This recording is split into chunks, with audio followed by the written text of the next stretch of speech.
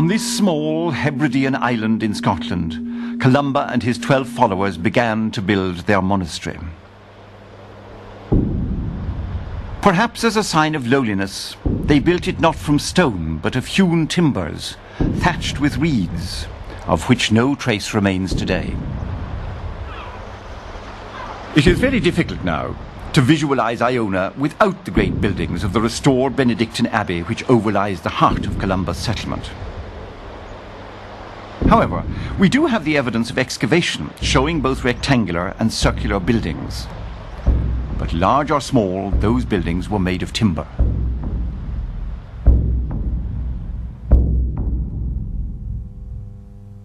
The painted shingles shown in the Book of Kells temptation scene seem to be based on reality. If taken together with this little stone building known as Columba's Shrine, perhaps we come close to the spirit of 6th century Iona.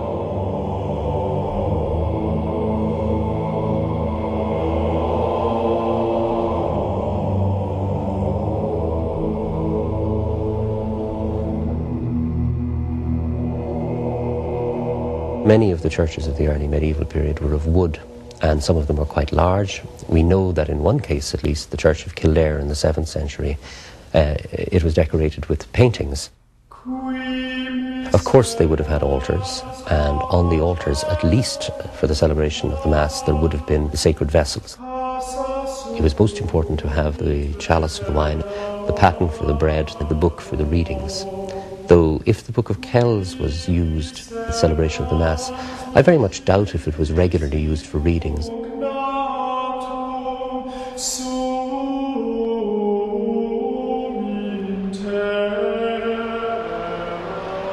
We tend to think of the Irish Church as very austere because the surviving stone churches are very simple.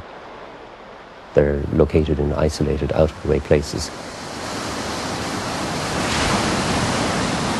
The sea is a brooding place. From it, at the end of time, the apocalyptic beast will arise to bring destruction to mankind.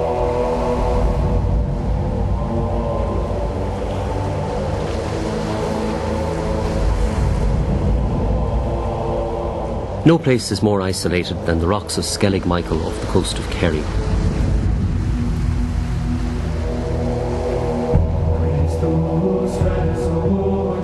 Here, Irish monks built their bleak monastic outpost.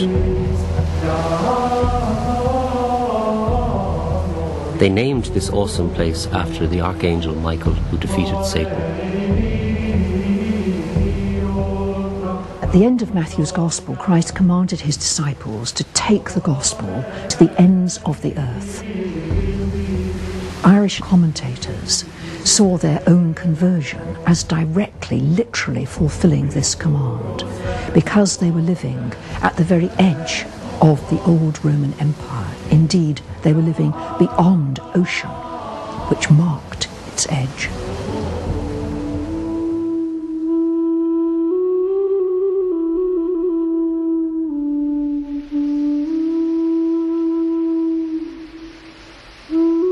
The Irish monks took this need for refuge and isolation from the desert fathers of the early Eastern Church.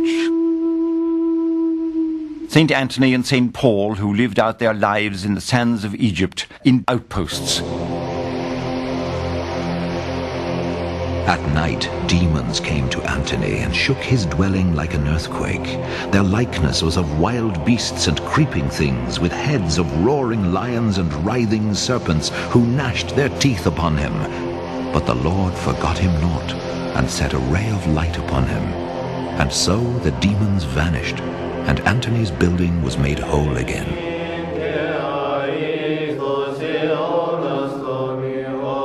Saint Anthony is the father of all monks through all the whole world, and this is the first monastery in the world. It goes back to 1600 years ago.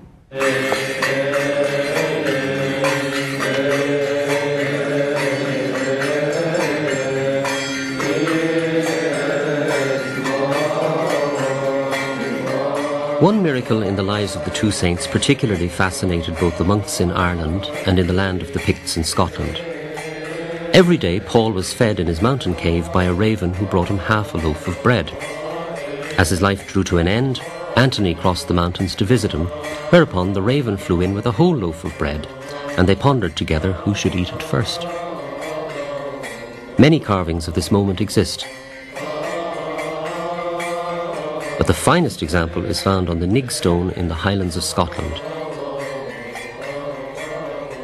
The narrative of the miracle of the bringing of the bread is exploited to become an actual representation of the Eucharist, with the breaking of the bread taking place above a chalice, and Paul and Antony not sitting conversing, but enacting the rites of the priest with their mass books on either side of the chalice. There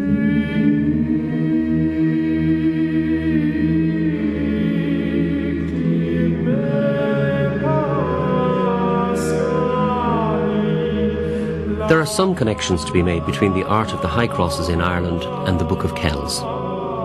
But the best sculptural comparisons for the art of the Book of Kells are to be found on carved stones in Scotland, particularly those which have examples of the so called snake boss motif.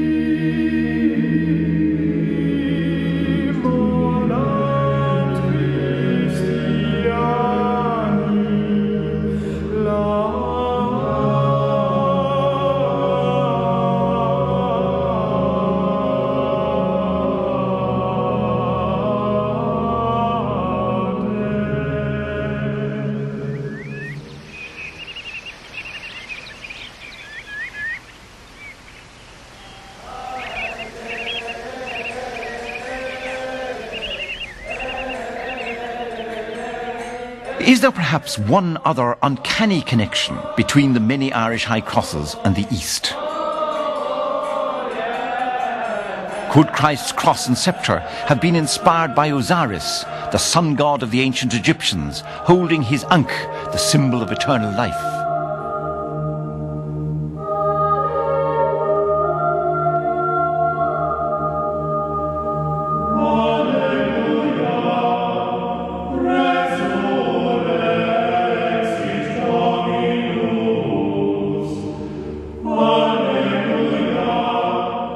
St. Columba was a scribe.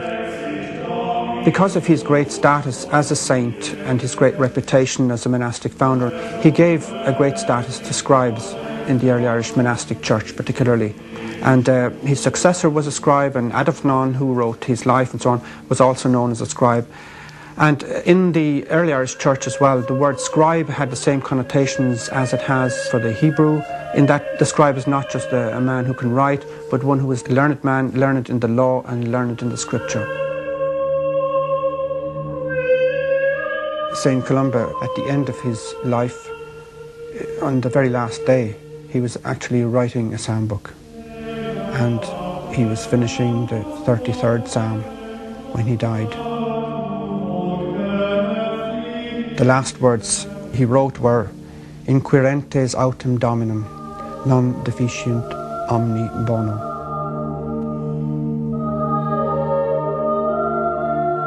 Those who seek the Lord shall not lack any good thing.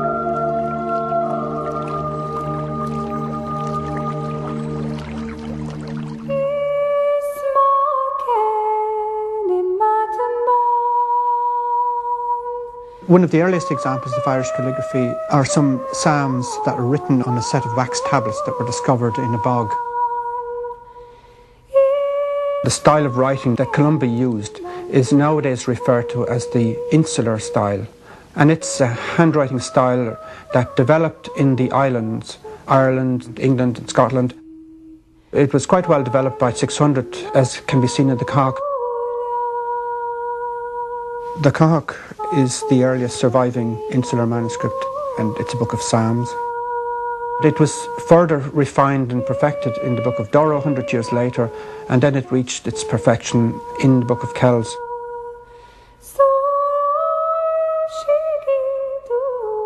The Book of Kells, which probably dates from around 800, is a glorious culmination of a whole series of manuscripts.